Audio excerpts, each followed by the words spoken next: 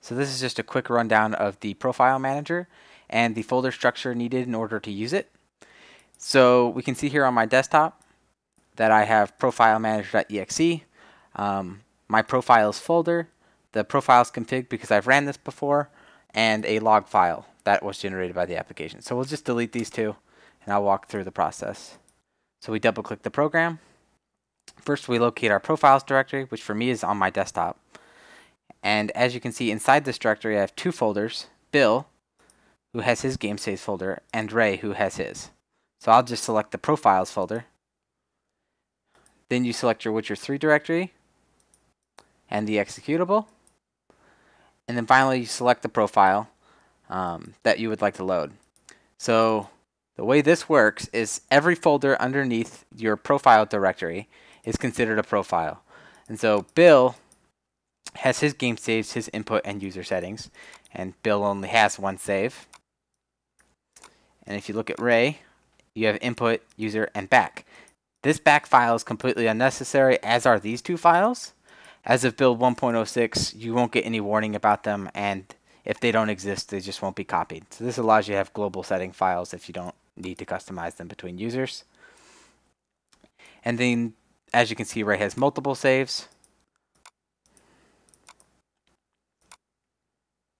And so now if we go to our Witcher 3 directory, you see that this is the default structure for the Witcher 3 directory. You can put your profiles folder inside this window.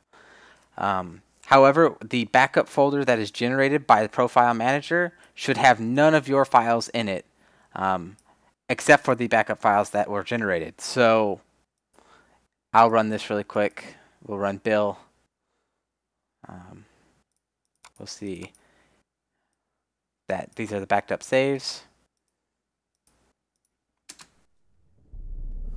I see you. And if we load it up, you see that Bill's single save file is in here. And I have a slight bug that causes Witcher 3 to not close on my operating system. And that's regardless of whether or not I launch it with Profile Manager. So if we click Ray,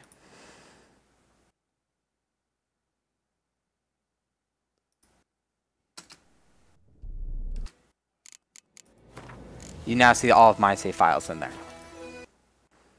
And so that's just a real simple rundown. The most important thing is that your profiles folder has this structure. Um, and again, the same bug. Uh,